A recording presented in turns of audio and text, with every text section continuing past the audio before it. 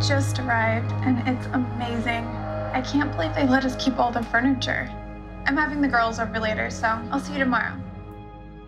I'm really glad you guys are here. Amen to that. Yeah, my parents bought me this great place because they think I'll live here forever and they'll see me more often. The Tups were mad. All the Tups are dead and gone, and it's my place now. I can't just abide by the fact that she bought the Tup house. She has to regret coming back here.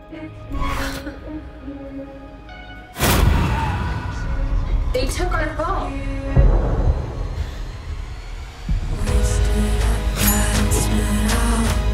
I told her what would happen if she came back. Wake up!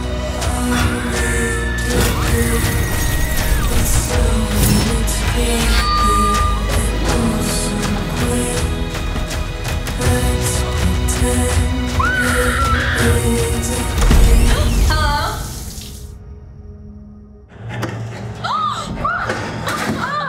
Thanks.